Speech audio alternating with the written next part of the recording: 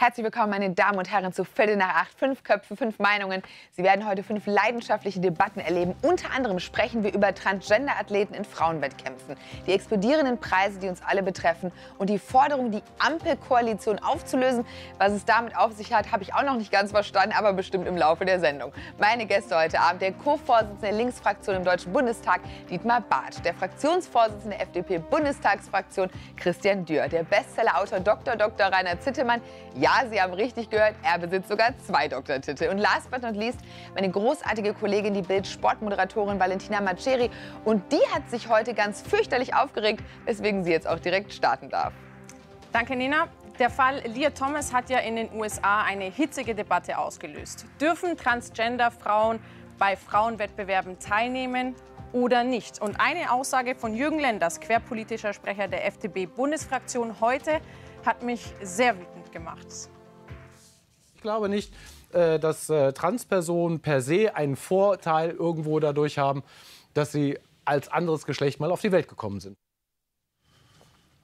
So, das die Aussage. Kurz und knapp kann man so definitiv nicht stehen lassen. In den USA wurde diese hitzige Debatte von Ex-Präsident Donald Trump losgelö losgelöst. Der sagte, das sei lächerlich und Menschen, die mit männlichen Geschlechtsmerkmalen geboren wurden, dürfen nicht an Frauenwettbewerben teilnehmen.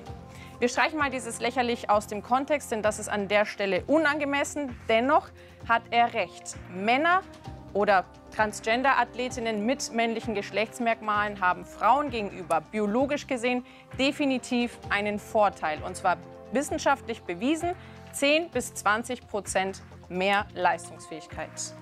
Valentina, wir hören jetzt einmal rein, was eine Transfrau dazu zu sagen hat, denn wir alle am Tisch können das ja natürlich nicht nachvollziehen. Deswegen möchte ich einmal gerne das Statement von Caitlyn Jenner hören. Sie ist Transfrau und Spitzensportler war sie und hat Gold in Olympia errungen. Ich habe von Anfang an gesagt, dass Menschen, die biologisch gesehen männlich sind, nicht beim Frauensport mitspielen sollten. Wir müssen den Frauensport schützen. Ja, jetzt haben wir hier zwei Statements. Einmal von einem Parteikollegen von Ihnen, vom Herrn Lenders, der gesagt hat, es würde keinen Unterschied machen, Frau ist Frau, Mann ist Mann, ob jetzt umoperiert oder nicht. Ähm, und der ja sagt, es ist richtig, dass man mit teilnimmt dann als umoperierte Frau. Wie sehen Sie das denn, Herr Dürr? Ja, die Unterstellung lautet ja, dass alle Frauen gleich sind und alle Männer gleich mhm. sind. Das sagt Jürgen Lenders zu Recht, das ist nicht der Fall. Mhm. Sind wir uns ja. sofort einig, das behauptet Donald Trump, ist großer Quatsch. Deswegen sage ich, ähm, so ähnlich wie es auch das IOC sagt, man muss gegebenenfalls auch differenzieren. Aber diese pauschale Aussage nach dem Motto, wer als Mann ursprünglich geboren ist, der darf niemals dann im Frauensport, wenn er Transgender ist, unterwegs sein. Das hielt ich ausdrücklich für falsch, aus gesellschaftspolitischen Gründen, die naheliegen, auch aus sportlichen Gründen. Herr Dürr, verstehe ich. Allerdings muss man ja da sagen, ich, ich verstehe diesen Inklusionsgedanken. Man möchte natürlich gegen die Diskriminierung ankämpfen, aber indem man in diesem Fall gegen die Diskriminierung ankämpft, schafft man ja eine deutliche Benachteiligung von Frauen und Spitzenathletinnen, die Wochen, Monate und teilweise für Olympia sogar Jahre hart auf diese Leistung hinarbeiten, die sie an diesem Tag abrufen müssen. Wenn zeitgleich dann aber Athletinnen an diesem Wettbewerb teilnehmen, die von Stunde Null an 10 bis 20 Prozent mehr Leistungsfähigkeit haben, das ist unfair für Spitzenathletinnen. Wenn es so wäre. Also wenn es immer grundsätzlich so ist, wie Sie sagen, äh, muss man darüber reden. Aber so ist es ja wahrscheinlich gar nicht. Sondern äh, deswegen bin ich da sehr bei dem, was das IOC sagt, das Internationale Olympische Komitee.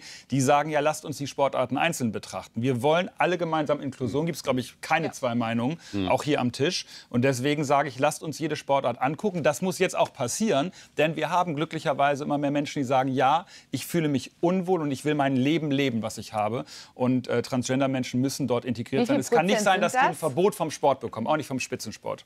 Wie viel Prozent betrifft das Transgender, wenn Sie sagen, es werden immer mehr? Also, dass es mehr werden, das sehen wir übrigens im Deutschen Bundestag. Ja, ja. Wir haben bekennende Transgender im Deutschen Bundestag. Tessa Ganserer zum Beispiel. Beispielsweise. Und äh, da geht es ja übrigens um die Frage, müssen wir moderner werden, Namensrecht und solche Dinge. Aber hier ganz konkret sage ich, weil es mehr werden, die sich die Freiheit nehmen, die müssen eben auch die Möglichkeit haben, am Spitzensport teilzunehmen. Wäre denn eine Lösung, Entschuldigung, wäre denn eine Lösung für Transgender-Frauen eine eigene Schiene zu kreieren? Weil ich, ich sage Ihnen nur mal kurz ein paar Parameter, damit Sie das verstehen, den Unterschied zwischen körperlichen Voraussetzungen mhm. Mann-Frau. Im Schnitt sind Männer 12 cm größer, 10 bis 20 Kilogramm schwerer, haben einen viel höheren ähm, Muskelmassenanteil, viel größeres Herz, viel größere Lunge, mit dann 50 Prozent mehr Volumen Ausdauersport, Sprintsport, Kraftsport sowieso, weil mehr Muskelmasse. Das heißt, man kann das nicht gleichstellen.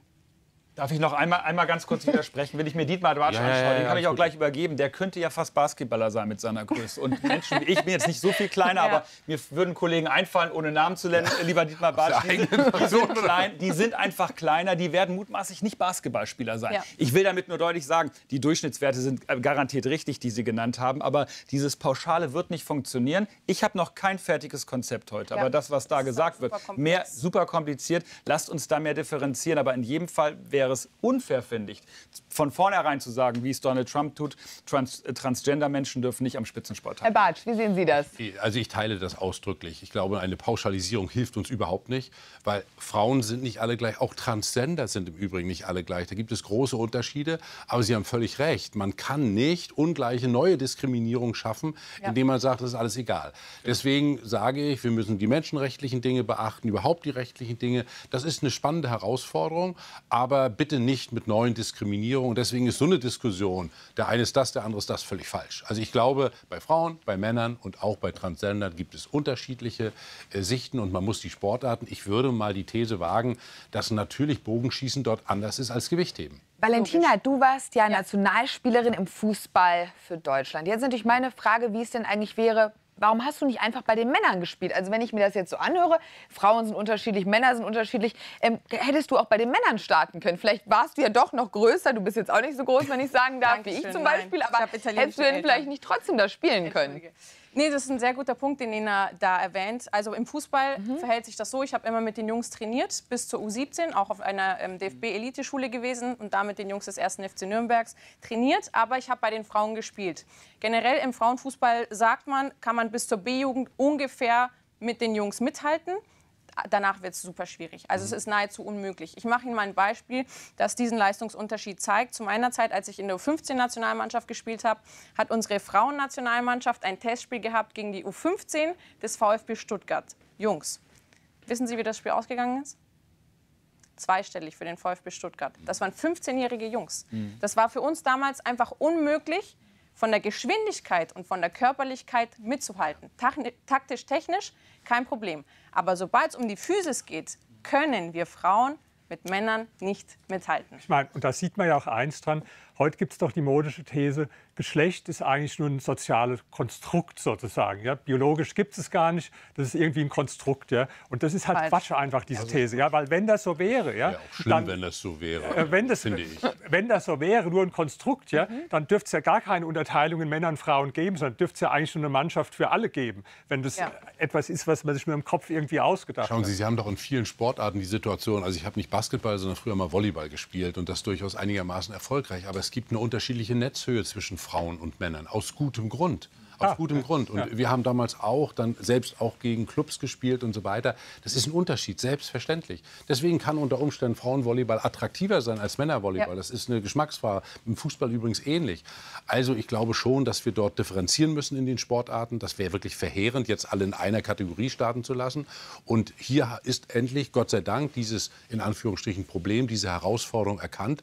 Da muss sich der Sport drum kümmern. Da müssen wir uns auch drum kümmern. Aber bitte nicht mit einer scheinbaren Abschaffung einer Diskriminierung viele neue schaffen. Das wäre meines Erachtens nicht in Ordnung. Also trotzdem würde mich interessieren, Sie haben es vorhin gefragt, wir diskutieren so oft über Transgendern, diese Probleme. Wie viel Prozent unter Spitzensportlern, wie viele betrifft das jetzt? Gibt es darüber eine verlässliche Zahl? Sind es 0,1 Prozent oder 0,2 Prozent oder über was diskutieren wir hier genau? Ich weiß es nicht. Ich frage einfach, wissen Sie Es ist, ich, ich kann keine genaue Zahl nennen, aber es ist ja ein super komplexes Thema, weil logischerweise, und deswegen wollte ich auch unbedingt dieses Wort lächerlich von Donald Trump ähm, streichen, gibt es Transgender-Athleten oder Athletinnen, sagen wir es mal so, die ähm, ein Recht natürlich an Wettbewerbsfähigkeit haben. Und das verstehe ich durchaus. Ne? Die Frage ist nur dann, wie schafft man für die einen fairen Wettbewerb, der dann für die Frauen genauso fair ist. Übrigens gibt es die, die gleiche Frage andersrum, denn es gibt ja Sportarten, in denen Frauen Männern äh, voraus sind. Dann, wenn es um Beweglichkeit beispielsweise geht, rhythmische Sportgymnastik etc.,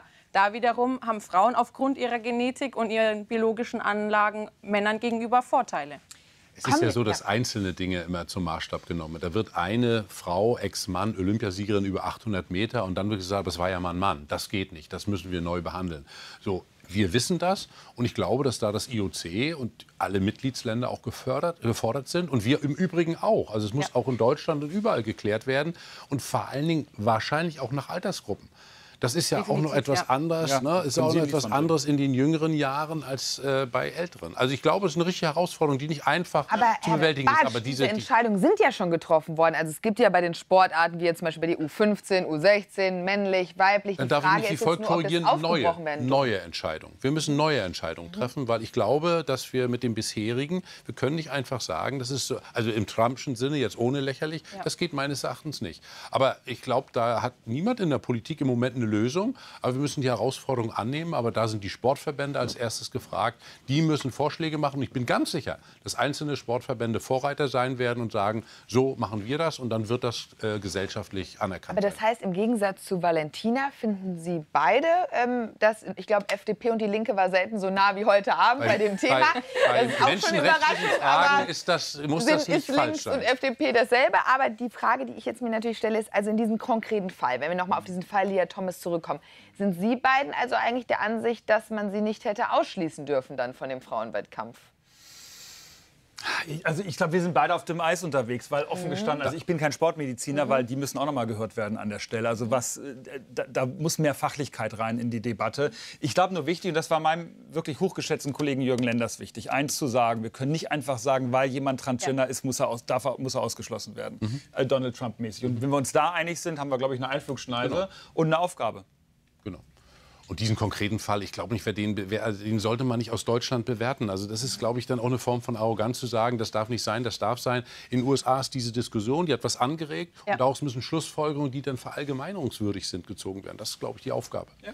Können wir dann da festhalten, Sie würden sagen, Donald Trump Aussage geht gar nicht? Fair Richtig. enough. Ja. Aber Sie würden auch zustimmen, wenn ich sage, es ist den Frauen gegenüber unfair den Spitzenathletinnen? Ich würde sagen, wir brauchen die Diskussion und müssen wirklich die Sportarten betrachten.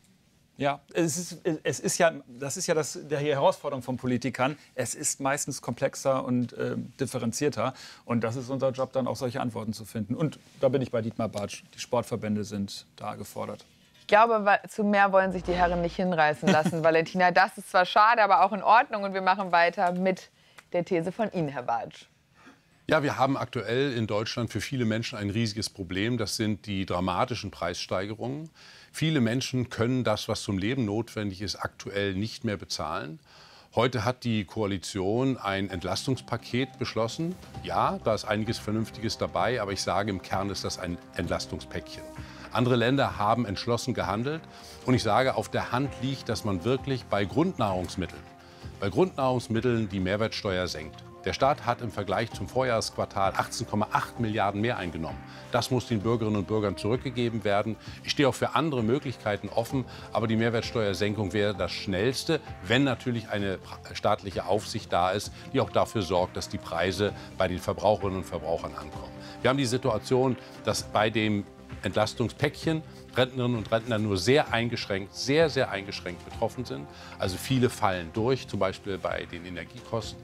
Und wir haben eine Situation, dass in dieser Lage die Kinderarmut steigt. Hier muss staatlich entschlossener gehandelt werden. Das, was jetzt passiert ist, ist zu wenig. Inflationsrate bei 7 Prozent. Rentner bekommen kaum etwas. Ampel ist gefordert. Das heutige kann maximal ein Start gewesen sein. Herr Dürr, Sie dürfen natürlich direkt entgegnen. Sie werden ja eigentlich angesprochen. Ja, herzlichen Dank. Das, das ist die Aufgabe der Opposition, ähm, dann äh, die Meinung zu haben und äh, auch die, die gegnerische Meinung sozusagen von meiner Seite zu hören. Grundfreibetrag erhöht. Arbeitnehmerpauschbetrag erhöht, ähm, Pendlerpauschale erhöht. Wir werden äh, etwas einführen bei Benzinsteuern, dass wir das reduzieren direkt an der Tankstelle. Volumen plus die Sozialleistung, die wir geben, nämlich beispielsweise Heizkostenzuschuss, den wir noch mal verdoppelt haben. Mir geht es nicht darum, Lorbeeren einzusammeln, weil Herr Bartsch hat an einem Punkt recht. Das kommt jetzt gerade bei den Menschen in Deutschland an und gerade bei den kleinen und mittleren Einkommen, die es schwer haben. Ich habe das nur aufgezählt, weil das türmt sich insgesamt auf eine Summe von 30 Milliarden Euro Entlastungspaket. Das ist tatsächlich historisch, hat zu GroKo-Zeiten und davor auch nie gegeben. Das heißt, diese Regierung tut etwas. Und jetzt sagt Herr Bartsch, da müsste noch einer oben drauf. Ich habe übrigens eine Sache vergessen, das darf ich sagen. all die Dinge, die ich steuerlich aufgezählt habe, werden wir rückwirkend zum 1. Januar diesen Jahres machen. Auch das hat es noch nicht gegeben. Herr Bartsch sagt, die Mehrwertsteuer. Ähm, da antworte ich. Für da, Grundnahrungsmittel erst. Für Grundnahrungsmittel. Da antworte ich, da haben wir während der Corona-Pandemie eine sehr schlechte Erfahrung mitgemacht. Sie sagen ja eine vorübergehende Mehrwertsteuersenkung. Das hat die GroKo ja schon mal gemacht während Corona. Und ich habe immer gesagt, das ist eine Amazon-Corona-Hilfesteuer äh, gewesen. Das hat nämlich den Menschen nicht wirklich was gebracht, weil die Garantie, dass damit die Preise senken, die kann der Staat nicht geben. Und wir haben hier ein besonderes Problem. Wir reden von Hunderttausenden von Produkten. In der sozialen Marktwirtschaft wird es der Staat nicht schaffen, das zu monitoren, ob die Steuersenkung, die Herr Bartsch möchte, wirklich dann auch an der Ladenkasse ankommt. Deswegen ein Nein von meiner Seite zu einer vorübergehenden Mehrwertsteuersenkung. Und ein Ja gibt es im Bundestag von mir zu dem, was die, was die Ampelkoalition hier macht. Also bei einigen Maßnahmen, die die Ampel beschlossen hat, bin ich ja überhaupt nicht dagegen. Also EEG-Umlage, Abschaffung jetzt richtig. Hätte das lange. Ich ganz vergessen. Ja, Danke. ich wollte ergänzen. Ich helfe ja, wo ich kann. Also auch, äh, auch, zu loben, wenn äh, etwas Lobenswertes da ist. Nur eins bleibt. All diese Maßnahmen sind bei einer Inflation von 7,3 Prozent. Und ich erwähne jetzt mal zwei andere Gruppen. Die Rentnerinnen und Rentner. Die bekommen eben auf dem Energiesektor nichts. Nichts. Die Rentner sind nur sehr eingeschränkt betroffen. Da kann man jetzt sagen, da hat Herr Heil gesagt, ja, aber wir haben die höchste Rentenerhöhung in der Geschichte der Bundesrepublik West. Ja, sie ist nur niedriger als die Inflationsrate. Oder nehmen Sie die Kinder. Bei Kindern, und das sind ja gerade Alleinerziehende, die die wenig haben, da kommt von diesem Paket objektiv wenig an. Und deswegen sage ich, bei Grundnahrungsmitteln, da kann es helfen, denn Sie haben recht, ansonsten eine Mehrwertsteuersenkung, ich habe das damals auch Porsche-Rabatt, da waren wir noch beide in der Opposition und haben das schwer kritisiert, genannt. Da ist ja etwas dran, weil das für die natürlich viel mehr ist. Deshalb wirklich eingeschränkt. Aber generell, meine These ist, wir haben jetzt durch den Ukraine-Krieg Natürlich durch all die Dinge, die jetzt mit Lieferungen zu tun haben, vor Shanghai die Schiffe und so weiter, Lieferketten sind unterbrochen, Riesenprobleme. Ich will das überhaupt nicht kleinreden. Das ist auch nicht die Verantwortung äh, der neuen Ampelregierung. Aber diese explodierenden Preise, die hatten wir so noch nicht. Und das ist nicht das Ende der Fahnenstange.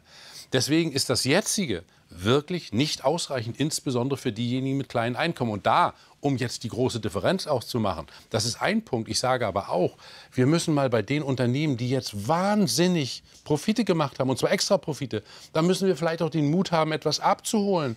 Wir müssen auch vielleicht bei denjenigen, die über Wahnsinnsvermögen verfügen, sagen, in dieser Situation muss da für die, für die das Monatsende Bartsch, am 20. Ich da ist. Ich habe eine gute Idee. Wir fragen Bitte. einfach mal jemanden. Ich hoffe, ich darf das hier sagen, Herr Dr. Dr. Zittemann. Sie, Sie haben ja ein Wahnsinnsvermögen. Also wollen Sie jetzt nicht einfach was abgeben? Herr Bartsch sagt, der Staat soll zu Ihnen kommen und Ihnen ein paar Millionen abzweigen. Wie sehen Sie das denn? Ja, Wenn man ein paar Millionen abzweigen könnte und es passiert nichts, dann ja. Also ja. Bartsch, das ist ja auch keine neue These. Das ist ja egal, was auf der Welt passiert. Ihre Lösung ist dann immer, die Millionäre, die sollen jetzt bezahlen und damit sind alle Probleme der Welt gelöst. Aber so ist es halt nicht. Also wenn Sie sagen Mehrwertsteuersenkung, da bin ich dafür. Ich bin immer für jede Steuersenkung, grundsätzlich, jeder Art. So. Also da haben Sie mich immer als Anhänger.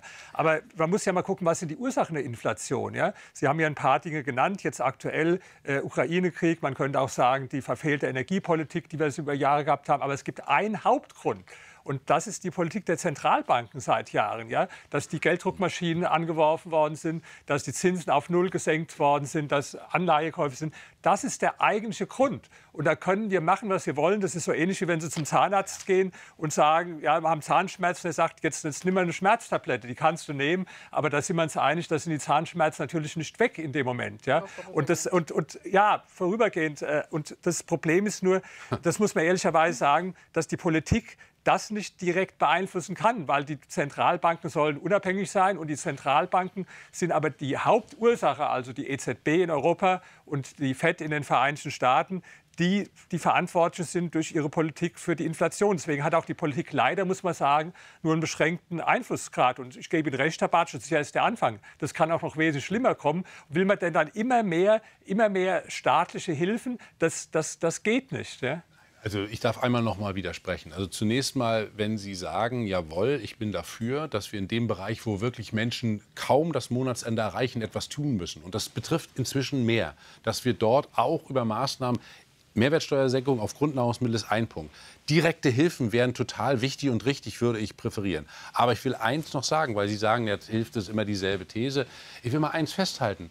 In der Pandemie im letzten Jahr haben die zehn reichsten Deutschen, die zehn reichsten, nur die zehn reichsten, Ein Vermögenszuwachs von 100 Milliarden. Da sind Sie nicht dabei. Traurig. Ich bin auch nicht dabei. Auch traurig. Und wem hat das das Problem? Es geht doch überhaupt nicht darum zu schaden. Es ist doch, geht doch nicht darum zu schaden, aber nicht den Mut zu Doch, haben, hier einen kleinen wichtig. Teil, Wem hat es einen geschadet, kleinen, Herr Bartsch?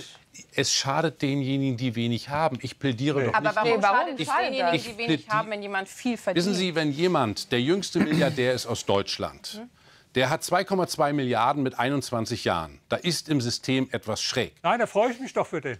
Nein, Also- ich freue mich darüber nicht, weil es dann eine falsche Erbschaftssteuer gibt, weil es dann eine. Es ist nicht, es ist niemandem vermittelbar. Wenn Sie Kinder haben, die am Monatsende nicht satt werden und auf der anderen Seite jemand mit 22 mehrfacher Milliardär ist, dann ist im Lande etwas faul. Das ist jetzt aber Das Halt, halt, halt. ne? Also wir müssen mal ein bisschen sortieren. Ja. Also ein bisschen sortieren. Sehr einverstanden. Von was reden wir denn? Reden wir von Geld auf, der, auf dem Sparbuch? Nein, das reden wir natürlich nicht. Das ist investiertes Vermögen, von dem Herr Barth spricht. Das sind Maschinenhallen, das sind Anlagen, das sind Jobs. Deswegen mache ich einen Vorwurf äh, an, an die Linkspartei. Es gibt ja auch andere Parteien im Deutschen Bundestag, die immer mal wieder die Idee haben, sogenannte Substanzsteuern einzuführen. Das Wort muss ich mal kurz in die Runde werfen. Das heißt, nicht aus dem, was ich erwirtschafte, gebe ich dem Staat richtigerweise was ab, sondern aus dem, was ich bereits habe sozusagen, was er per se keinen Gewinn abwirft. Die Steuern, die Herr Bartsch vorschlägt, würden auch Unternehmen zahlen, die in dem Jahr Verluste machen. Die würden diejenigen zahlen, die groß sind gegebenenfalls, auch Mittelständler, aber die würden nichts anderes machen, als Jobs abbauen müssen. Denn gerade bei der Erbschaftssteuer, wenn man die jetzt erheblich anheben würde, ein äh, junger Firmenerbe, und es geht mir gar nicht darum, ob ich dem das gönne oder nicht, aber ich will, dass der die Jobs erhält. Das ist doch mein Punkt. Das ist Lohn und Brot und Arbeit für viele Millionen Menschen in Deutschland, gerade im mittelständischen Bereich. Das heißt, all die Vorschläge dieser Substanzsteuern, die gehen an die Substanz des deutschen Mittelstandes und kosten uns Jobs. Das heißt, das produziert in Wahrheit Armut. Ich meine, vor allen Dingen, ähm, äh. Herr Bartsch, steckt ja eine bestimmte Vorstellung dahinter. Also bei Ihnen steckt immer die Vorstellung dahinter, der Arme, der ist nur arm, weil der Reiche reich ist. Ja? Das kennen Sie, das Gedicht von Bert Brecht bestimmt. Armer Mann und reicher Mann standen da und sahen sich an. Und der Arme sagte bleich, wäre ich nicht arm, wärst du nicht reich. Ja? Das ist ja so Ihr Grundbekenntnis. Und das ist, das ist einfach Unsinn. Ja? Und ich kann auch erklären, warum. Gucken Sie mal zum Beispiel im Jahr 2000 da war es noch so, da gab es 500 Milliardäre auf der Welt. Heute gibt es fünfmal so viele Milliardäre. Gleichzeitig ist die Zahl der Armen auf der ganzen Welt von 24 Prozent im Jahr 2000 auf unter 10 Prozent gesunken. Das heißt, wenn diese Logik stimmen würde von dem Gedicht von Bertolt Brecht, was auch Ihre Logik ist, ja, dann könnte man das ja gar nicht erklären. Und das ist der Grundirrtum. Nennt sich Wachstum Ich übrigens. erklär- Das ist ich erkläre Wachstum. Ihnen das, ich erkläre Ihnen das gerne. Okay. Also erstmal will ich Jetzt zunächst widersprechen, weil also das, Sie äh, vertreten ja die These, die Linke will die Substanz äh, besteuern und Unternehmen kaputt machen und Arbeitslosigkeit schaffen. Also wir sind ja nicht behämmert. Also wer die Substanz besteuert, wer, ja, wer die Substanz besteuert, habe ich doch niemals gesagt. Also auch bei der Vermögensteuer im Übrigen gibt es eine private, das ist ja übrigens das Problem, deshalb hat das Verfassungsgericht das 96 aufgehoben, Mhm. weil diese Trennung etwas schwierig ist. Aber darum geht es nicht. Wir haben in Deutschland 6 Billionen Geldvermögen allein. Das ist jetzt ein spannender naja, Punkt. Da also da ist ja schon mal eine Frage, ob jemand, und ich wiederhole noch mal, Niemand kann mir erklären, übrigens die 2,2 Milliarden des jüngsten Milliardärs der Welt, die sind nicht nur in Anlagen. Das ist ja einfach nicht wahr. Das, da, da sage ich ganz klar, wir müssen Regelungen Wir schaffen. jetzt Wobei er halt Wer jetzt- ist denn jetzt der Milliardär mit 22 der reichste der Welt? Können Sie doch nachlesen. Ich bin ja da ganz. Der heißt Lehmann übrigens, ist doch ein netter Name. Ne? Das hilft doch nicht so sonderlich weiter. Aber Mhm. das ist jetzt nicht der Punkt. Ich, ich kenne den gar nicht. Das ist wahrscheinlich ein netter Mensch. Wahrscheinlich wird der ganz. Darum sind geht es nicht. Es geht, es geht, Aber er es- beschäftigt Sie schon stark, der Herr Lehmann. ich will, das ist Der beschäftigt nur- vor allen Dingen Menschen. Es, es, ist für mich, es ist für mich ein Beispiel. Wissen Sie, wir haben in Deutschland leider, und niemand am Tisch wird sagen, dass das gut ist, eine Steigerung bei der Quote der Kinderarmut. Alle sind dagegen. Ja. Ich weiß das, also ich habe damit, äh, ich habe also auch äh, dort mit FDP-Kolleginnen früher an diesem Thema, da muss was passieren. Kindergrundsicherung, was ja im Koalitionsvertrag steht, wo ich gesagt habe, lobe ich ausdrücklich, da ist auch in diesem Haushaltsjahr nicht ein Cent. Ich bin sehr gespannt, ob das kommt. Warum passiert nicht da viel schneller etwas? Und was diese Riesenvermögen betrifft, nochmal, ich bin für Ausgleich. Wer Vermögen sich erarbeitet, wer etwas leistet, nur zu. Aber diese Wahnsinnigen, das meiste Vermögen in Deutschland wird vererbt und nicht erarbeitet. Stimmt und nicht. doch, das war. Nein, kann ich, kann ich Ihnen gleich. Es gab neulich eine Untersuchung, da ging es eigentlich um ein anderes Thema vom DIB, ganz unverdächtig. Ganz und da ging es eigentlich darum, um den Zusammenhang von Persönlichkeitsmerkmalen und Millionären. Und da haben die zugleich eine Stichprobe gemacht, wie viel waren der Erben und wie viel waren da Selfmade-Leute. Ja? Dann waren einige, wo man es nicht sagen konnte, wenn man die rausrechnet, waren 79 Prozent waren Selfmade und 21 Prozent waren Erben. Entschuldigen Sie, jetzt muss ich auch mal sagen, diese Studie, die ich sogar kenne, und das sind diejenigen, die pur geerbt haben. Diejenigen, die natürlich ein Erbe bekommen und das ausdehnen, sind sofort self-made. Also das ist eine interessante Studie. Ich habe das gelesen sogar, weil ich mich, mir genau auch diese Zahl aufgefallen. Meine These, und die, bei der bleibe ich auch, da haben wir Gott sei Dank unterschiedliche Sichten. Ich sage, wir müssen dort für Ausgleich sorgen. Wir müssen für Chancengleichheit bei den Heranwachsenden sorgen. Und deswegen, natürlich kann man die These vertreten, also jede Steuer ne, also, äh, ist eine zu viel, Steuer ist Raub. Die vertrete ich ausdrücklich nicht. Der Staat hat Aufgaben, die er realisieren muss. Und eine dieser Aufgaben ist dafür zu sorgen, dass jedes Kind die, seine Fähigkeiten und Fertigkeiten entwickeln kann, die Chancen bekommt. Und dazu gehört auch eine angemessene Besteuerung. In Deutschland wird ordentlich besteuert. Wir sind ja jetzt schon, äh, ehrlich gesagt, jetzt kann man ja auch Ja, mal sagen, sind- im europäischen wir- Vergleich. wir sind Höchststeuerland. Ähm, Ein nee, Grund, warum- einer ist noch vor uns. Ja, Belgien. Einer, Belgien ist Belgien noch ist vor uns. vor Aber uns. sonst, ich finde, ist es denn das Ziel, das ist jetzt die letzte Frage zu der These, die möchte ich gerne an Herrn Dürr stellen, ist es denn das Ziel, dass wir jetzt auch noch Belgien überholen und der Spitzenmann werden? Es wäre eine? Katastrophe, Ja, warum es ich. eine rote Linie für meine Partei auch bei dieser Koalition, über die wir da gleich noch reden, äh, gab, nämlich zu sagen, es darf keine Steuererhöhung weitergeben. Im Gegenteil, wir müssen Entlastung machen, ein paar machen wir. Ein Satz bitte, Frau Schenk, nämlich zu der Frage, naja, das investierte Vermögen, das will ich als Linker ja schon, mir geht es um das große Geldvermögen, also um den Dagobert Duck und seinen Tresor. Wie ist denn das in Wahrheit? Was würde denn in dem Moment passieren? Das Geldvermögen, das ist flexibel, das wandert ins Ausland. Aber der arme investierte Unternehmer, ich sag mal arm in Anführungszeichen, der investierte Unternehmer, der Jobs geschaffen hat, der würde von der Steuer von Herrn Bartsch getroffen, der müsste gegebenenfalls verkaufen oder würde Jobs abbauen. Deswegen sage ich, das klingt gut, aber ist in Wahrheit das Gegenteil von Robin Hood. Warum hat eigentlich die FDP ein Konzept bei der Erbschaftssteuer, dass durch die Bank 3 Prozent äh, äh, erhoben werden sollen? Das waren, also Sie, Sie sprechen auf alte Dinge an. Wenn Sie ins Wahlprogramm reinschauen, dann sehen Sie, dass wir bei der Erbschaftssteuer sagen, es muss vernünftige Schonungsmöglichkeiten geben. Weil Da habe ich übrigens nichts dagegen. Die Unternehmer, über die, Schonungsmöglichkeiten bin ich immer dafür. die Freibeträge. Unternehmer, die Unternehmer Auch über, bei die der ich Vermögen- sprach, über die ich gerade sprach, weil wir die nicht belasten wollen. Wir sind ja hier auch für Chancengerechtigkeit bei Phil nach acht und auch für Chancengerechtigkeit bei den Themen, also dass jeder dieselbe Zeit hat. Und deswegen geben wir jetzt weiter zu Dr. Dr. Rainer Zittelmann. Ich sage einfach die zwei Doktortitel so gerne. Ja, das klingt doch Die hätte jeder von uns gerne. Ja, ich habe einen immerhin, aber Ja, ich kann da noch mal dran Da bin ich arbeiten. der Einzige Ich hier. sag's aber nur, wenn man zwei hat. Vielleicht, wir können ja sagen, äh, Herr Dürr kauft einen bei Herrn Zittelmann, dann haben wir jeder einen. Also, das, wäre Umverteilung nach links. Ne? Das ist nicht die Marktwirtschaft, die wir meinen. Ich weiß, das Also war zum Glück, zum Glück kann man die, äh, die Doktortitel ja nicht umverteilen, Herr Bartsch. Das sollte übrigens ein Gag sein, Herr Zittelmann. Das war Ja. nicht ernst. Ja, ja, Also, das ist mir schon klar. Nee, also mir geht es heute um was anderes. Ich sage, die Ampel muss weg. Ich oute mich, ich bin also seit 27 Jahren FDP-Mitglied. Und vor den Wahlen war es ja so, dass Herr Lindner gesagt hat, also ihm fehlt eigentlich die Fantasie für die Ampel und er wollte Jamaika haben. Ja?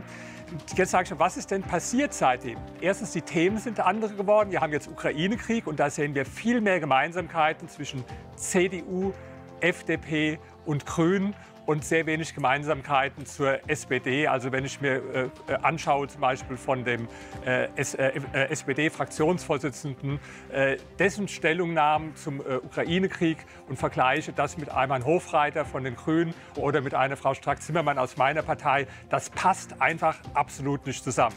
Deswegen sage ich, die Gemeinsamkeiten sind größer geworden. Damals hat man es nicht gemacht mit der CDU. Warum? Die CDU hatte ja gar keine Führung damals. Die waren ja eine völlige Chaostruppe. Inzwischen haben die wieder eine Führung, die haben den Herrn Merz. Und deswegen sage ich, also ich wäre dafür, äh, machen wir jetzt das, was damals nicht geklappt hat, Jamaika, weil wir haben große Herausforderungen, auch gerade in Bezug auf die Bundeswehr, auf die Außen-, auf die Sicherheitspolitik. Und da passt auf jeden Fall äh, FDP und äh, CDU und Grüne besser zusammen als die Ampel. Also jetzt muss ich und mache ich ja sehr gerne in dem Fall verteidigen, äh, dass es eine Ampel gibt. Und ich sage mal, ich kann äh, ganz, ganz viel kritisieren, auch an dem Koalitionsvertrag, den die vorgelegt haben. Aber eins muss man ganz, ganz sachlich sagen. Gesellschaftspolitisch gibt es viele Fortschritte. Ob das bei Frauenrechten ist, wir hatten eben im Übrigen Thema auch, was menschenrechtliche Fragen betrifft, da muss man sagen, es ist ein Fortschritt zu dem, zu all den Jahren, wo die Union regiert hat. Zweitens ist das eine Spannende These, aber eine, die völlig unrealistisch ist. Also da ich im Deutschen Bundestag sitze und dann auch sehe, wie die miteinander umgehen, im Moment geht die Union am härtesten mit der FDP um, ja teilweise härter als mit uns. Also äh, da ist, da ist also eine Illusion zu glauben, dass das zusammengeht. Und ich glaube im Übrigen, dass auch inhaltlich, es mag einzelne Punkte geben, dass da etwas zusammengeht. Wissen Sie, Christian Lindner hat zwei Monate vor der Wahl gesagt, die Kanzlerfrage ist entschieden. Es geht darum, wer Vizekanzler wird, Herr Habeck oder ich. Deswegen kann man diese Dinge, glaube ich, nicht ganz so ernst nehmen in der Politik. Ich sage ganz klar, diese Ampel wird entweder zerbrechen und Neuwahlen, daran glaube ich nicht, sondern die werden die Legislatur tapfer zu Ende machen. Und ich bin gespannt, ob sie die positiven Dinge des Koalitionsvertrags umsetzen und bei den negativen, wir werden eine bescheidene linke kleine Opposition sein, aber deutlich. Also Herr Bartsch, wenn Sie jetzt sagen, das ist unrealistisch, gebe ich ja zu. Also man darf sich ja einfach mal was wünschen. Das stimmt. Äh, auch, Dafür ist Viertel nach acht Gewünscht hätte ich mir Mitte links, aber ehrlich gesagt, äh, die Zeit, das Wünschen noch geholfen hat, die ist ja leider vorbei. also wünschen würde ich mir ja 51 Prozent FDP. Ja? Aber ich meine, das, ich ist jetzt für zu haben. ich glaube, das will der Dürr nicht machen. Doch, doch.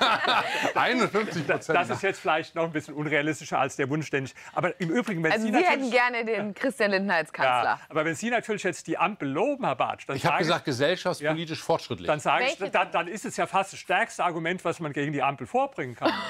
Ja, wissen Sie, wenn Sie das so, wenn Sie das so sehen, nur zu. Äh, also nochmal, das Unrealistische, da gibt es auch noch viele andere Gründe. Gesellschaftspolitisch habe ich das gesagt. Nehmen Sie äh, die Abschaffung des 219a. Das ist ein Fortschritt. Was denn sonst? Nehmen Sie die Einwanderungspolitik. Das, was dort angedacht ist, ist ein Fortschritt. Man hat da immer noch viel zu kritisieren. Aber das sind Dinge, die nach vorne gehen. Ich sage auch ganz klar, ein Mindestlohn von 12 Euro ist ein Fortschritt. Das war jetzt nicht unbedingt das Kernthema der FDP. Also es gibt Dinge, wo ich sage, jawohl, das ist vernünftig. Ich habe ganz im Übrigen auch das Thema Kindergrundsicherung.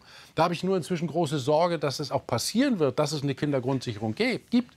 Aber insgesamt, ich, wie gesagt, ich verteidige jetzt, ich könnte, die Sendung reicht nicht aus, wenn ich das Kritische alles aufrufe. Ne? Das ist klar. Aber im Vergleich zu der Großen Koalition und dem Stillstand, und die Union ist wirklich in einer Lage, die haben sich so daran gewöhnt, dass es nur gut, dass sie in der Opposition sind. Besser wäre natürlich noch. Fragen wir doch einmal Herrn, Herrn Dürr, wie denn jetzt die NRW-Wahl steht ja vor der Tür. Ja, das- Herr Dr. Dr. Rainer Zittemann wünscht sich, ähm, wünscht sich Jamaika. Wird das denn in NRW klappen? Aktuell bei den Hochrechnungen wahrscheinlich nicht, oder? Also in den äh, Bundesländern haben wir ganz verschiedene Farben. Die FDP beispielsweise ist in Sachsen-Anhalt in einer Deutschlandkoalition mit Sozialdemokraten und Christdemokraten. Wir haben eine Ampel in Rheinland-Pfalz, Jamaika in Schleswig-Holstein und eine schwarz-gelbe, vielleicht klassische Koalition in Düsseldorf in NRW. Und das ist auch gut so. Und auf der Bundesebene haben wir eine Ampelkoalition. Jetzt muss ich Herrn Dr. Zittelmann der sich ja auch gerade als FDP-Mitglied geoutet hat. Und das heißt, dass auch FDPler untereinander diskutieren können, widersprechen. Ähm, mir fehlte damals im Sommer, so hat es Christian Lindner formuliert, auch ein wenig die Fantasie. Die ist nicht nur entstanden, sondern da ist auch Vertrauen gewachsen. Weil ich habe das mitbekommen, diese Gespräche, die ja äh, Grüne und äh, Freie Demokraten mit der Union versucht haben. Das war zum Scheitern verurteilt. Deswegen war es zu dem Zeitpunkt, da sind wir uns hoffentlich einig, keine Option, in eine Jamaika-Koalition zu gehen. Denn der Zustand der Ja. Union hieß Führungslosigkeit. Hat sich aber geändert. Ne? Und ähm, jetzt sind wir in einer Situation, äh, wo wir auch ein bisschen rückblicken müssen und uns anschauen, was ist das Erbe von 16 Jahren CDU, CSU im Bund als Regierung? Und da sage ich, das ist nicht so dolle. Bei der Bundeswehr haben wir ein Erbe angetreten, wo wir es jetzt gerade ausbügeln müssen. In der Energiepolitik, Herr Dr. Dr. Zittelmann, ist korrekt gesagt, hat es auch, hat's auch gerade gesagt, in der Energiepolitik sind wir ein Erbe angetreten mit krasser Abhängigkeit von Russland, die jetzt ein Aggressor geworden sind. Das heißt, da sind ja heftige Fehler gemacht worden. Und ich finde, da kann eine frische neue Koalition das verbessern. Und dann komme ich äh, letzter Satz äh, zu den Ampelprojekten. Die großen Dinge. Über eins werden wir gleich noch sprechen. Das habe ich nämlich heute als Thema dabei. Aber das Thema beispielsweise eine echte Planungsbeschleunigung, Digitalisierung, Entbürokratisierung. Gott, wie lange warten wir darauf? Unternehmer, die Lust haben, durchzustarten, Start-ups, die brauchen das. Das zweite Thema ist das Thema Bildung. Vernachlässigt auf der Bundesebene von der Union. Ich habe mich immer geärgert, ich glaube Dietmar Bartsch auch. Da hat der Bund 5 Milliarden für den Digitalpakt für Schulen. Da sind wenige Prozent, drei, vier Prozent von abgeflossen, weil die Union es nicht gebacken gekriegt hat, die ja die Bundesbildungsministerin zu dem Zeitpunkt stellte, dass das Geld bei den Schulen ankommt. Jetzt während der Regierungszeit der Ampel und die FDP stellt die Bundesbildungsministerin, ist schon viel mehr vor Ort angekommen. Also da haben wir ganz viele Modernisierungsprojekte. also Frau Stark-Watzinger macht einen guten Job. die macht einen ta- fantastischen Job äh, und äh, das sind nicht nur gesellschaftspolitische Projekte, das sind auch wirtschaftspolitische Projekte. Und die war mit der Union nicht zu machen. Und, und so erneuert, Herr Dr. Dr. Zittelmann, ist die Union noch nicht, wie sie sein müsste für Regierung. Also ich würde es mir auch noch sehr viel mehr äh, erneuert wünschen. Aber jetzt ist natürlich auch ein bisschen unfair, Herrn Merz äh, verantwortlich zu machen für die schlechte Bilanz von der Frau Merkel. Also dass die Frau Merkel eine katastrophale Bilanz hat, da bin ich mir sofort einig mit Ihnen. Aber jetzt zu sagen, das ist die Schuld von dem Herrn Merz, also das ist dann doch ein bisschen unfair. Aber ich habe ja von der Außen- und Sicherheitspolitik gesprochen. Und die, glaube ich, die wird immer wichtiger. Egal wie lange der Ukraine-Krieg noch dauert. Ja? Wir haben ein Riesenprogramm vor uns, die Bundeswehr zu stärken. Und da, glaube ich, da gibt es sehr viel mehr Gemeinsamkeiten, zum Beispiel zwischen äh, Ihrer Partei, Herr Bartsch, auch zwischen der, der SPD, auch zwischen der AfD. Ja, das sind ja drei Parteien, die jetzt eigentlich in Bezug auf äh, Ukraine und äh, Russland ähnliche Positionen vertreten. Und da gibt es aber umgekehrt sehr viel mehr Gemeinsamkeiten zwischen der CDU und zwischen der FDP und auch zwischen großen Teilen der Grünen. Und äh, dass diese Fragestellungen Bundeswehr, Außen- und Sicherheitspolitik, die haben doch bei den Koalitionsverhandlungen eine ganz untergeordnete Rolle gespielt und im Wahlkampf praktisch gar keine Rolle gespielt. Aber heute sind es die Top-Themen. Das heißt, wir haben veränderte Fragestellungen und veränderte Fragestellungen wiederum, die müssen auch dazu führen, dass man sich veränderte Gedanken macht über Koalition. Darf ich eine steile Gegenthese aus der Historie Deutschlands sagen? Die rot-grüne Koalition unter Gerhard Schröder, den wir alle nicht mehr sehen wollen in der deutschen Politik heute als Person, ja. aber damals die großen Sozialstaatsreformen, die Herr Bartsch kritisiert, ja. die haben einen wirtschaftlichen Aufschwung für Deutschland gebracht. Absolut, also eine rot-grüne ja. hat man nie erwartet. Jetzt eine Ampelkoalition, die bereit ist, 100 Milliarden Euro in die Bundeswehr zu investieren. Also vordergründig, Herr Dr. Zittelmann, mögen Sie, Herr Dr. Dr. Zittelmann, mögen Sie äh, erstmal vermeintlich recht haben. Wenn man wirklich anguckt, was was können Regierungen leisten, dann merken wir historisch in Deutschland, dass gerade die etwas ungewöhnlicheren Koalitionen die größeren Reformen hinbekommen haben. Deswegen glaube ich, dass diese Ampel eher die Kraft hat, weil man es ihr nicht so zutraut, nicht so nachsagt vielleicht, dass sie es eher schafft, die Bundeswehr wirklich zu stärken, als es mit der Union möglich gewesen wäre. Ein Satz, die 100 Milliarden für die Bundeswehr hätte es bei Jamaika, glaube ich, nicht gegeben. Was dürfen wir uns denn dann davon versprechen? Davon daraus dürfen wir uns versprechen, dass wir äh, ein, ein Beweis einfach mal. In den ersten äh, 100 Tagen haben wir schon, und äh, dann waren wir mit diesem furchtbaren Krieg konfrontiert, haben wir schon geschafft, dass wir energieunabhängiger von Russland geworden sind. Beim äh, Erdgas, beim Erdöl, bei der Kohle haben wir jetzt die Möglichkeit, sogar da ganz uns von Russland abzukoppeln. Also in den wenigen Tagen, in den wenigen Monaten seitdem haben wir das schon geschafft. Und insofern ist das, was wir jetzt machen müssen und die anderen Projekte, ähm, und eins liegt mir ganz persönlich am Herzen, Herzen, äh, die stehen im Koalitionsvertrag. Wir müssen das Aufstiegsversprechen der sozialen Marktwirtschaft erneuern in Deutschland. Wer ranklotzt, wer Lust hat zu arbeiten, wer eine tolle Ausbildung hat, weil er richtig geackert hat als junger Mensch, der muss davon auch was haben. Der muss sich was aufbauen können. Dieses Aufstiegsversprechen ist unter der Union verloren gegangen und das wird die Ampel jetzt nach vorne bringen. Die entscheidende Frage ist ja, dass man auch die Ampel dann an den Taten messen sollte. Ich habe vom Koalitionsvertrag gesprochen und habe äh, das, äh, was zu loben ist, auch gelobt. Äh, ich nehme jetzt mal das Thema Energiepolitik raus. Also, nun kann man ja das begeistert aufnehmen, dass jetzt mit Katar und anderen Ländern dort Gespräche laufen. Ich kann nur sagen, ich war dabei schon im Deutschen Bundestag, dass nach den furchtbaren Attentaten in New York gesagt wurde, von denen müssen wir unabhängig werden. Und da ist viel rausgegangen. Also von einem Despoten zum nächsten. Das Eigentliche ist doch, dass Energiewende, was alle sagen, erneuerbare Energienausbau, Reduktion und so weiter, da warte ich noch. Die Abhängigkeit von Russland zu reduzieren. Also jetzt nehme ich mal Russland weg. Wir nehmen jetzt mal die Kohle. Also in Deutschland sind wir so unendlich stolz, dass wir aus der Steinkohle ausgestiegen sind. Das ist ja auch in Ordnung. Nur, wir importieren Steinkohle jetzt irgendwie aus Kolumbien, wo die Kohleleute sagen, na Mensch, da liegt immer noch eine Leiche auf dem Schiff. Also das sage nicht ich. Ja, da ist doch irgendwas schräg. Wir, machen bin, doch, ja. ich, wir, wir, müssen doch, wir müssen doch, wenn wir das wollen, und ich weiß, dass das keine leichte Aufgabe ist, aber bitte dann eine Perspektive aufmachen, die dann wirklich dazu führt, dass es despotenfrei ist. Und das ist ein Riesenproblem. Und ich will noch einen Satz sagen, also ich will wirklich widersprechen der These, dass wir in der Russlandpolitik eine ähnliche Position haben wie die AfD. Doch, natürlich. Null. Ach, das stimmt überhaupt nicht. Also, das ist eine äh, glatte äh, Lüge. Zu also, Russland um das mal klar zu sagen. Wir, jetzt das, nach wir kommen ja gleich zum Werbeunterbrechung. Nach einer kurzen Unterbrechung. Die Werbung muss man einhalten. Die Werbung muss man leider einhalten im Fernsehen. Wir kommen okay. aber jetzt gleich direkt wieder zurück. Und ich bin sehr gespannt, ob FDP und die Linke auch nach der Werbung beim Thema Russland so auf Kuschelkurs sind. Das ist nee. ja ganz neu heute Abend hier. Bis gleich. Ich musste die Ampel verteidigen. also, aber, aber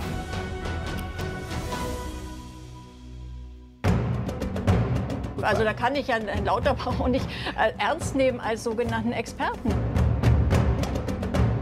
Herzlich willkommen, meine Damen und Herren, bei Viertel nach acht, fünf Köpfe, fünf Meinungen. Jeder von uns hat ein Thema mitgebracht, das ihn bewegt, ärgert, freut oder schockiert. So nicht Privatchat, Uschi. Herr Jörges, wir wetten. Okay.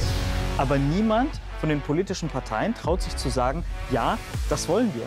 Einfach nur Freiheit. Diese grün-roten stehen da und führen hochtrabende Debatten über die Rettung des Weltklimas und um die Füße rum wuseln die Ratten. Das Thema ist viel zu wichtig, um es nur der AfD zu überlassen. Lass den Leuten noch mal den Spaß. Wir sehen da etwas, was eigentlich fatal ist in der Politik. Bei den Journalisten, deren Job ist es doch gerade, abweichende Meinungen zu finden. Und sie sollen den doch auch richtig doof finden. Die Gesellschaft macht das, quasi, macht das quasi zum Manko. Vielleicht einmal kurz einen Satz ausreden, das wäre ganz nett. Ach, das sind irgendwelche Anorak-Träger aus Buxtehude, die das gucken und so. Ich habe meinen Beifall und meine Lache immer bekommen. Wer kümmert sich darum? Niemand. Das ist Berlin. Ja. Man muss da ganz klar jetzt mal auch darüber sprechen, dass es einfach nicht fair ist und nicht richtig. Es ist die Aufgabe von Journalismus einfach, die, äh, die Verlautbarung der Politik zu hinterfragen.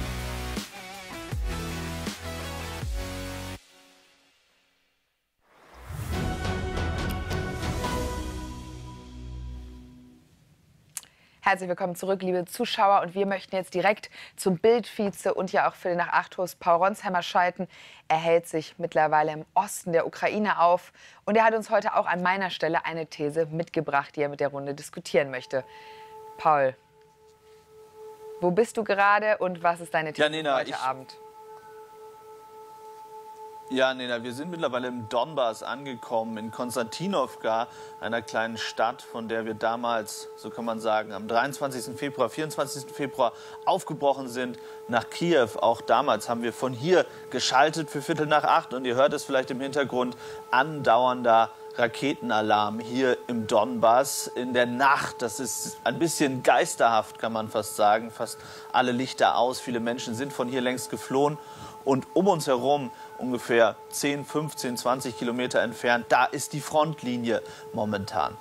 Du hörst den Raketenalarm im Hintergrund und das bringt mich auch zu meiner These. Ich glaube, dass das, was Deutschland tut, was Waffenlieferungen angeht, noch nicht ausreicht. Wir brauchen noch viel härtere wirtschaftliche Sanktionen und zwar sofort. Ich glaube, dass der Krieg und dass der Druck auf Putin nur dann zunimmt, wenn es wirklich ein umfassendes Embargo gibt. Also wenn es nicht nur ein Ölembargo gibt, sondern wenn es auch ein Gasembargo gibt. Putin versucht ja bereits, uns zu erpressen. Er versucht zu drohen. Er hat Polen und Bulgarien bereits angekündigt, dass man kein Gas mehr liefern werde, weil die beiden Länder nicht in Rubel zahlen wollten. Wie ich finde, sollte Europa durchgreifen. Das wird hart, das wird hart natürlich. Das wird äh, Wirtschaftskraft uns kosten, aber am Ende, glaube ich, braucht es diesen Druck, um hier in der Ukraine wirklich eine Veränderung herbeizuführen. Deswegen plädiere ich dafür, Öl- und Gasboykott sofort. Wir sollten uns nicht länger von Wladimir Putin erpressen lassen. Paul, ich sehe das ja ganz genauso wie du, dass man da harte Sanktionen treffen muss. Nur was ich mich frage ist, was ist denn dann die Lösung auch für die Bürger? Weil diejenigen sind ja die, die das am Ende auch zu spüren bekommen. Vor allem, und das hat Herr Dürr dann auch schon vorhin gesagt, die gering- und äh, mittelständischen Verdiener. Wenn das die Frage an mich war, also ich denke, ähm, dass es natürlich einen Sozialausgleich braucht. Ich glaube, dass Deutschland diesen äh, auch leisten kann. Das Problem, wenn ich die Bundesregierung richtig verstehe, warum man das sozusagen argumentiert, und da gibt es sehr unterschiedliche wirtschaftliche Analysen, auch was das Ganze am Ende bedeuten würde, ist, ähm, dass man Sorge hat, dass der Industriestandort Deutschland geschwächt würde. Das ist sicherlich so. Die Frage ist, wie immens. Und wenn man sich anschaut, was der Preis ist, noch einmal, hier in diesem Moment, wir haben auch gerade wieder Schüsse gehört von weitem, ähm, dieser Ort hier, wo ich gerade stehe, das ist ein klares Ziel auch von Wladimir Putin. Er will diesen ganzen Donbass sich einverleiben bis zum 9. Mai. Ähm, das ist eines der wichtigen Daten. Und ich glaube, dass wir jetzt noch viel mehr Härte brauchen, auch überraschende Härte. Denn das ist etwas, mit dem Wladimir Putin nicht rechnen würde, dass die Europäische Union vereint, geeint steht und sagt, wir machen den Boykott jetzt wir hören uns nicht länger an, wie du uns erpressen willst. Und natürlich ähm, braucht es dann einen sozialen Ausgleich. Herr Bartsch, sind Sie auch für das umfassende Öl- und Gasembargo, was Paul Ronsheimer vorgeschlagen hat? Also ein solches, ich weiß gar nicht, wie Paul Ronsheimer zu der These kommt, äh, dass das dazu führen würde, dass Putin dann auf einmal anders agieren würde. Das ist eine sehr gewagte These. Äh, ich sehe das wahnsinnige Dilemma, in dem wir uns befinden. Deutschland bezieht weiterhin äh, Gas aus der Ukraine, bezahlt das auch pünktlich. Das ist für niemanden hier in irgendeiner Weise etwa eine angenehme Situation. Aber wir müssen natürlich auch wissen, also soweit, das kann man Wladimir Putin schon zutrauen, dass das sehr wohl eingepreist wäre. Natürlich, wenn das plötzlich ein Boykott geben würde, das würde so verheerende Auswirkungen haben in unserem Land, dass genau das, was sein Ziel ist, nämlich Spaltung Gesellschaft, Spaltung des Westens, das würde passieren. Und deswegen sage ich, äh, da finde ich richtig, dass man damit sensibel umgeht und dass man vor allen Dingen, wenn denn gemeinsam mit europäischen Partnern agiert. Also, die, der letzte Punkt ist, die Energiefrage das ist eine, wo Deutschland das schaffen wird, sich loszulösen von Russland. Aber es gibt natürlich andere Rohstoffe, die viel problematischer sind, wo es auch normal jetzt weitergeht. Also ich sage mal ganz nebenbei, die Gaslieferungen gehen im Übrigen durch die Ukraine und die Ukraine bekommt Durchleitungsgebühren weiterhin von Russland. Das läuft weiter und ich sage mal, ein Glück, dass es weiterläuft. Manchmal tun wir so, also es ist doch auch bei anderen Dingen so, da als muss man sagen, die Ukraine wird halt gerade von Russland versucht, in Schutt und Asche zu legen. Ich, also, ich will keine, also um damit es kein Missverständnis mhm. gibt, es ist ein furchtbarer, verheerender, völkerrechtswidriger Krieg, der durch nichts zu rechtfertigen ist. Da haben wir hier eine Position am Tisch. Also da, ja. null, null Toleranz, ja. null. Wirklich. Und der muss schnellstmöglich beendet werden. Die Frage ist nur, wird er denn schneller beendet?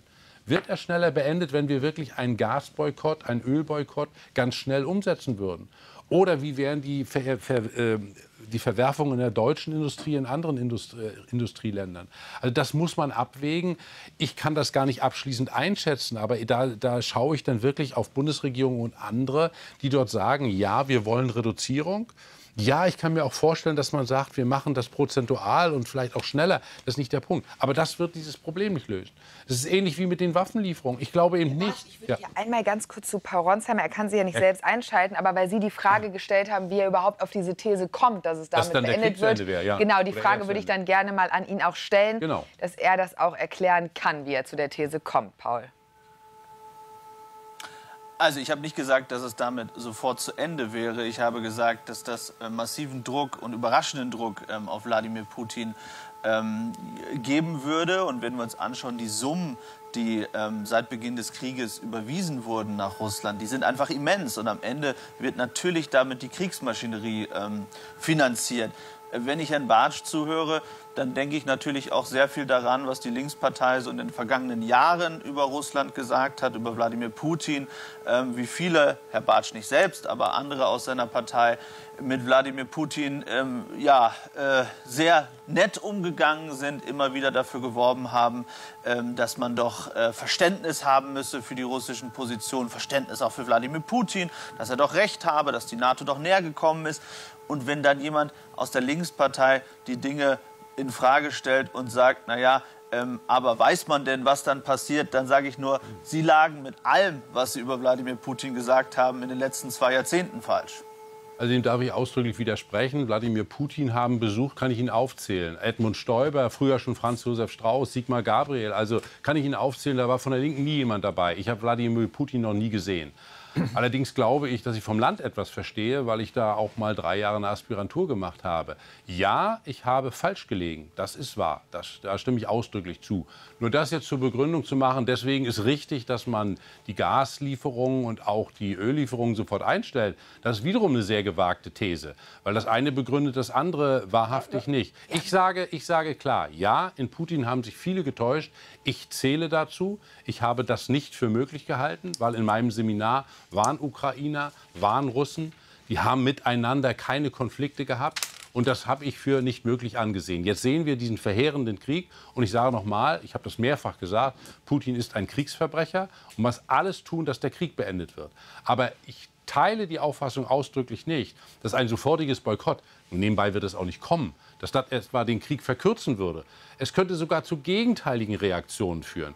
Denn es ist kein Zufall, dass sowohl die Ukraine als auch Russland als auch Deutschland sich an das bisherige Prozedere hält. Das ist so und da gibt es Gründe für. Wir können, die, wir können die Debatte jetzt leider aufgrund der Zeit, deswegen würde ich sagen, Paul, dir gehört das Schlusswort zu deiner These. Und leider konnten wir die Debatte nicht ganz öffnen, weil äh, sie beide sehr miteinander. Es war auch gut so, es war sehr spannend zuzuhören. Paul, das ist dein letzter Punkt.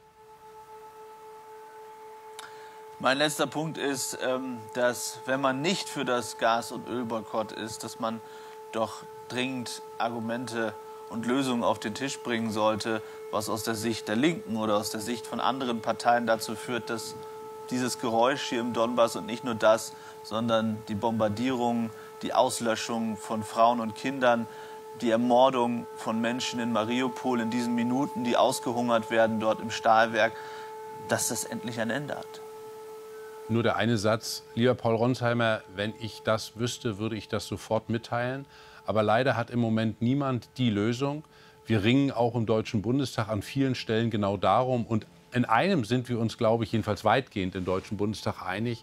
Der Krieg muss zu Ende sein und wir müssen alles in diese Richtung tun. Und ich möchte, dass die militärische Schlagseite nicht zu groß wird, sondern dass ich zum Beispiel Hoffnung setze, wenn morgen Herr Guterres nach Kiew fährt, nachdem er bei Putin war. Ich wünsche mir, dass diplomatisch da muss ich möglichst ich, ich wünsche mir, ja. dass es weil mir ja, weil mir ja das, äh, weil mir ja, nein, nein, Herr Batsch, weil, weil, weil mir ja, weil mir ja das letzte Wort ähm, gelten sollte in dieser Debatte. Okay, okay. ähm, Ich sage jetzt nicht Schink das gesagt.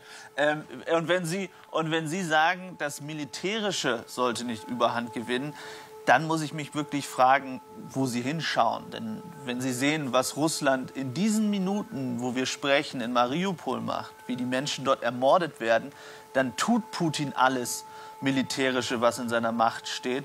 Und diese Debatte finde ich, sorry to say, nur noch absurd.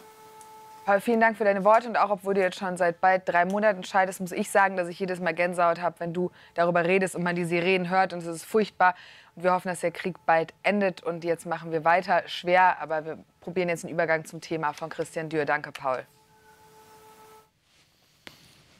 Ja, vielen Dank. Äh, Ich habe ein Thema mitgebracht, was mir am Herzen liegt. Deutschland ist eines der ältesten Länder der Welt. Äh, Das ist erstmal keine schlechte Nachricht, denn Menschen werden gesünder älter in Deutschland. Das ist eine gute Nachricht, großer zivilisatorischer Fortschritt.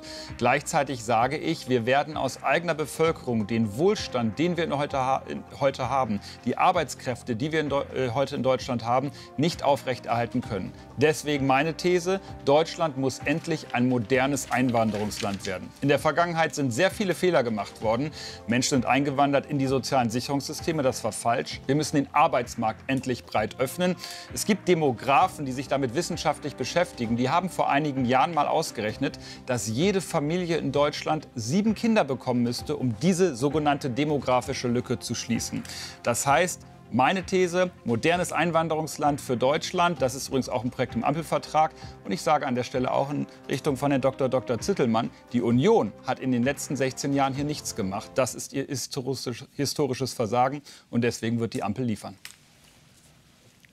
Ja, ähm, stimme ich zu, weil wir müssen beim Thema Zuwanderung mehr differenzieren. Und das geschieht oft nicht in der Diskussion. Ich sage es mal ganz holzschnittartig, wir brauchen viel, viel mehr Zuwanderung von qualifizierten Fachkräften und wir brauchen viel, viel weniger Zuwanderung in die Sozialsysteme. Bisher ist es umgekehrt und das hat einen ganz einfachen Grund, weil die Zuwanderung in die Sozialsysteme ist relativ einfach. Du gehst an die Grenze, sagst das Wort Asyl und in dem Moment bist du erstmal im Verfahren drin, was mehrere Jahre dauert. Und egal wie es ausgeht, wo auch die Wahrscheinlichkeit, dass du bleiben kannst, relativ hoch ist. Während wenn du als Fachkraft zuwandern bist, dann hast du unglaubliche bürokratische Hürden.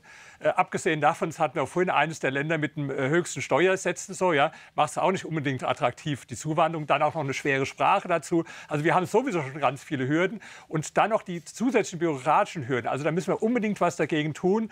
Und es hängt aber auch beides zusammen. Ja, wir müssen andererseits, und das finde ich nicht gut äh, bei der Ampel, auch ganz deutlich wirklich mal diese Zuwanderung in die Sozialsysteme reduzieren, weil das auch am Ende dazu führt, dass die Akzeptanz von Zuwanderung von Fachkräften sinkt, weil die meisten Menschen, oder ich sage nicht die meisten, aber viele Menschen leider nicht so differenzieren. Die sagen dann einfach, ach, Zuwanderung will ich nicht mehr. Ja? Und deswegen sage ich, wir müssen tatsächlich das, bei dem einen sagen, ja, brauchen wir unbedingt, und bei dem anderen aber auch nein. Und bei dem einen glaube ich auch gerne, dass die Ampel jetzt äh, was machen wird, mehr Zuwanderung von Fachkräften. Aber bei dem anderen Thema, Glauben Sie denn im Ernst, dass Sie mit den äh, Grünen und mit unserer Innenministerin, äh, wie wir sie jetzt haben, eine Begrenzung der Zuwanderung in Sozialsysteme hinbekommen? Also da bin ich ja sehr, sehr skeptisch. Da müssen wir, wenn ich darf, die Dinge differenzieren. Ähm, humanitäre ähm, Flüchtlingsmigration, Asyl das ist auch rechtsstaatlich geboten, sage ich aus meiner Sicht. Gerade jetzt in äh, der Logisch. Situation, die wir gerade aus der Ukraine ja sehen, ja. da widerspricht keiner. Aber Sie haben ja recht, die Situation 2015 war ja eine solche, die Deutschland ja auch gesellschaftspolitisch fast auseinandergerissen hat. Das darf nicht passieren. Aber der Druck natürlich auf die Einwanderung in die sozialen Sicherungssysteme ist so groß, weil das andere so versperrt ist. Das heißt, wir müssen Nein. das andere öffnen. Na klar, viele Menschen haben Lust durchzustarten. Viele Menschen von denen, die kommen, die zurzeit über das Asylsystem, das Flüchtlingssystem kommen, die wären viel besser aufgehoben als reguläre Einwanderer. Und an einem Punkt möchte ich Herrn Dr. Dr. Zittelmann widersprechen. Nämlich, es geht nicht nur um hoch höchstqualifizierte und promovierte Menschen, sondern es geht um die ganz, ganz breite Masse. Es fehlt überall. Im Handwerk fehlen, äh, fehlen Hunderttausende von Arbeitskräften. Allein in Deutschland fehlen, glaube ich, 70.000 Lkw-Fahrer. Das heißt, diese These, es geht nur um Spitzenqualifizierte, das ist ausdrücklich Insgesamt sind falsch. es auch im Handwerk 230.000. Beim Handwerk vielen Dank, äh, Frau Schink, für den Hinweis. Also es ist dramatisch. Ähm, der Chef der Bundesagentur für Arbeit spricht von einer Nettozuwanderung von 400.000, die wir brauchen. Jetzt muss man noch sagen, warum? Um unseren Wohlstand zu erhalten, damit die Renten stabil bleiben. Das hat ja alles einen Grund. Also wir müssen es so machen, ich will zusammenfassen, wie moderne Einwanderungsländer, Kanada, Australien, Neuseeland, die machen das sehr klug seit vielen Jahrzehnten. Wir haben es noch viel nötiger. Und ja, das ist ein Auftrag, deswegen macht sich die Ampel da auf den Weg. Also wenn ich da wenige Bemerkungen zu machen möchte. Erstens finde ich, es darf überhaupt kein Zweifel sein, dass in Deutschland das Asylrecht gilt und dass wir hier eine Verantwortung Keine haben. Frage. Das ist total wichtig, weil manchmal wird als erstes gesagt, was wir alles nicht dürfen, sondern aber dieser Fakt steht. Und wir unterscheiden dort auch nicht nach Flüchtlingen aus Syrien oder aus Schwarzafrika, wenn es um Asylrecht geht, oder aus der Ukraine. Da gibt es keine Unterschiede. Es gilt, die Rechtslage ist für alle gleich. Das muss man immer einmal sagen. Zweitens, ich bin sehr dafür, bin sehr dafür, dass wir erstmal feststellen, wir sind ein Einwanderungsland und dass wir dort deutlich moderner werden, schneller werden. Das war mal in der großen Koalition in der letzten Legislatur, da stand im Koalitionsvertrag, dass die Verfahren verkürzt werden sollen auf, auf drei Monate. Ja, und was ist die Realität? Ich weiß, 15 und so weiter, es ist extrem lange. Wir müssen dort deutlich schneller werden. Ich wünsche mir ein modernes Einwanderungsgesetz. Da haben wir erhebliche Differenzen, wenn wir es konkret machen, vermutlich. Aber das ist weiter gar nicht schlimm. Wir müssen endlich Grundlagen schaffen. Bei uns, auch in meiner Partei, gab es eine breite Diskussion dazu. Wird auch durchaus unterschiedlich gesehen. Das finde ich nicht tragisch. Aber endlich dort eine Regelung, weil lange Zeit war ja die These, wir brauchen kein Einwanderungsgesetz. Das war die These im Bundestag, die mehrheitsfähig war. Und diese These, die ist einfach nicht stimmig. Wir müssen die vielen Dinge, die es bereits gibt, zusammenfassen. Und da hoffe ich, dass die Ampel dann wirklich vorlegt, handelt und das dann auch so entsprechend, das werden wir sicherlich ganz kontrovers diskutieren, aber dass dann eine Grundlage da ist. Weil das ist, glaube ich, dringend notwendig. Valentina, empfindest du Deutschland denn schon als modernes Einwanderungsland oder haben wir da noch einen weiten Weg zu gehen?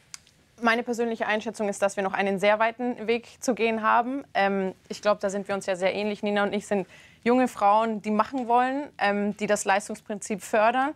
Ich habe das Gefühl, dass wir uns aktuell auf Nur ich habe keinen Migrationshintergrund. Ich schon und ich komme aus einer Gastronomiefamilie. Also ich bin die erste in meiner Familie, die studiert hat, worauf ich sehr stolz bin. Ähm, merke aber, dass es durchaus Unterschiede gibt und das ist Fakt und das spüren wir auch tagtäglich, aus welcher Familie man kommt oder nicht.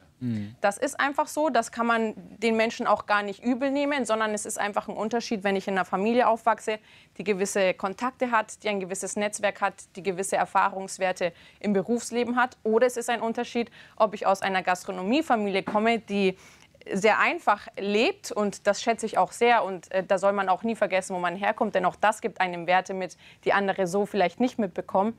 Aber es ist dennoch ein Unterschied, weil man viel weiter hinten anfängt als beispielsweise Kinder einer Akademikerfamilie. Und ich finde, wir müssen da irgendwie eine Gleichberechtigung schaffen, aber wir müssen vorsichtig sein, weil in diesen ganzen Gleichberechtigungsdebatten leider entwickeln wir uns dann in eine Richtung, die dann wiederum auch ähm, Diskriminierung oder Benachteiligung genau für die andere Seite schafft. Das war ein schönes Schlusswort. Die Politik hat viel zu tun. Selten habe ich eine Runde weniger gerne abmoderiert und bis morgen Abend. Tschüss. Tschüss.